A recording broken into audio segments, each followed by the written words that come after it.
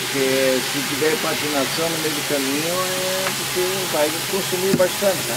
Sim. Mescla um pouco a lenha, né, tá? É, dormente, pau, roliço, eucalipto.